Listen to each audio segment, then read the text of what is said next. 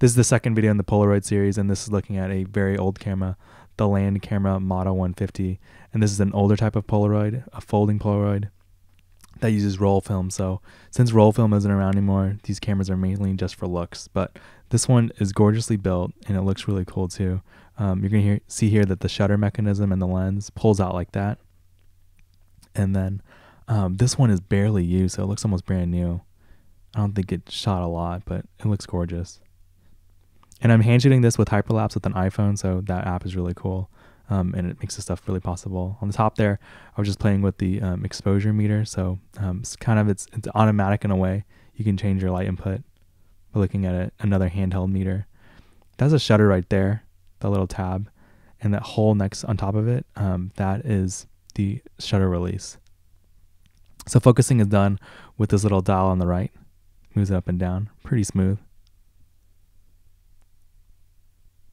To close it, and I had a problem with this, you're gonna just pull down on these two bars right there, and then it closes it up.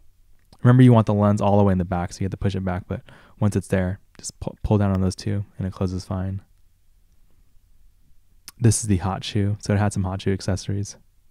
And on on the back, kind of complicated, but that's like the develop button and then a film back opening. So once you loaded your film in this camera, it had a um, positive side where you would make your exposure, and then it had a negative side where it would develop. So the pack film later made this easier where you just pulled it out, but in this one you had to hit that red develop button and then wait a minute and then pull it out and then cut the film. So pretty complicated to use, and that's probably why um, they got rid of roll film. And then when you look at a modern, modern Polaroid, um, you just take the picture and it comes out, and you don't even have to um, wait for ex- um, exposure at all. So Polaroid kept on making it easier and easier over time. So, so I hope you guys enjoyed this video. It's just taking a look at an older type of Polaroid, um, still in the Polaroid family.